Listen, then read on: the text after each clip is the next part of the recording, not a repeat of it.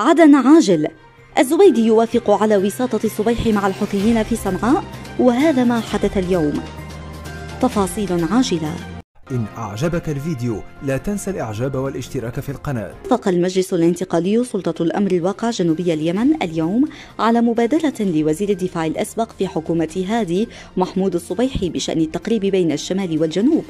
وكشفت مصادر مقربة من الصبيحي بأن زيارة الأخير لعدن ولقائه برئيس الانتقالي عيدروس الزبيدي كان بناء على تلقيه إشارة إيجابية بشأن مقترح بخصوص اتفاق جديد مع من وصفتهم بالحوثيين.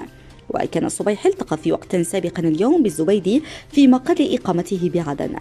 واللقاء الذي يعد الأول منذ إطلاق سراح الصبيحي قبل عيد الفطر المبارك جاء في أعقاب كشف الصبيحي عن مبادرة للحل السياسي بين شمال اليمن وجنوبه يتضمن يمن اتحادي وقال الصبيحي الذي التزم منذ إطلاق سراحه منزله الريفي ضواحي لحج على حدود تعز وتجاهل محاولات الانتقال استقطابه. إنه ناقش المبادرة خلال لقاء جمعه بوفد الحوار الخارجي للمجلس الانتقالي خلال زيارة الأخير له في منزله قبل أيام.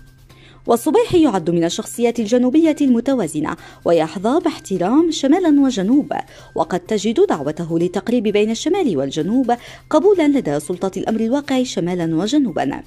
وقرار زبيد الموافقة على مبادرة صبيح خارج إطار المجلس الرئاسي مؤشر على قرار الانتقال إجراء مفاوضات مباشرة مع صنعاء خارج الصيغة التي تحاول السعودية تمريرها في مفاوضاتها الحالية. وتتضمن توزيع الجنوب بين القوى اليمنية الموالية لها بما فيها تلك التي تكن العداء للانتقال.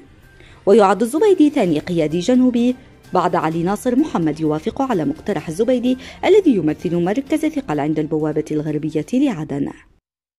إن أعجبك الفيديو لا تنسى الإعجاب والاشتراك في القناة.